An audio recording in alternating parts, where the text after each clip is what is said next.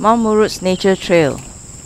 In the northeast corner of Sarawak, Borneo, Malaysia, is a pristine rainforest and a sandstone mountain called Murut, Sarawak's highest mountain at 2,423 meters.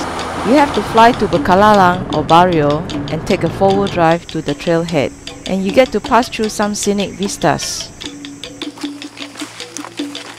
On the track, you get to pass different types of forests from mixed dipterocarp to mountain moss forests. It looks like if I look for a human body, look for You probably have to do a few leech checks along the way. So what's all the racket about? Lepobunga is where the natural trail starts. On this occasion, we were greeted by a rhododendron in full bloom. The trail to church camp takes one through different levels of mountain forest where you find many different floras including the Nepenthes.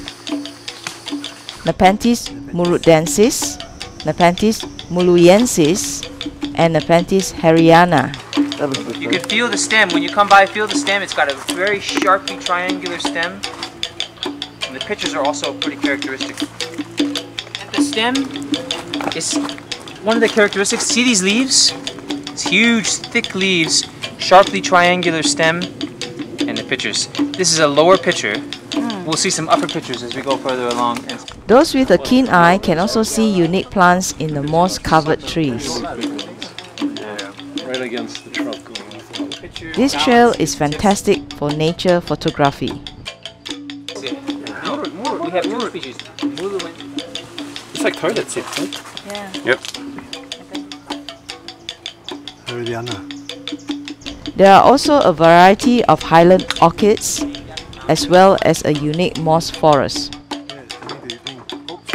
On this outing, we were so engulfed with nature that we trekked into the evening. Here we are cooking in the kitchen. It's not salty enough, there's the soy sauce there. Busy with their mouth full. Uh, In the morning, we woke up to the wonderful environment of the church camp. The previous night temperature was about 10 degrees Celsius. The fauna included unique species of tree frogs. This is a hybrid between Herediana and Loei. The trail we're going on now, it's uh, just a jungle track. It's about uh, two hours to the summit plateau. Again, the summit trail was full of flora, often one more spectacular than the other.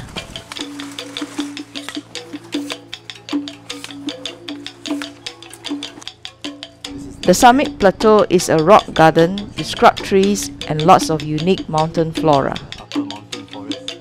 And the rock garden. The environment is damp and cold, engulfed in mist with frequent light rains. There were pandanus, orchids, and even eucalyptus, and also with bushes of Nepenthes it We asked our visitors what they thought of the summit plateau. Fantastic!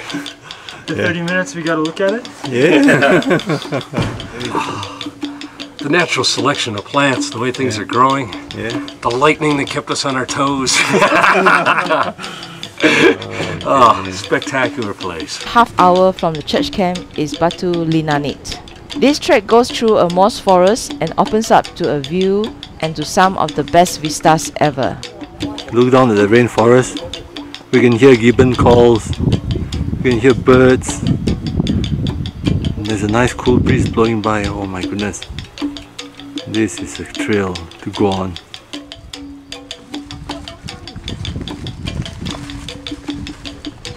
And as you descend the mountain, you go through the different forest vegetations again and back to the mixed deep dipterocarp forest with huge, gigantic trees. It's then back on the main trail to a village where you connect to transport yourself home.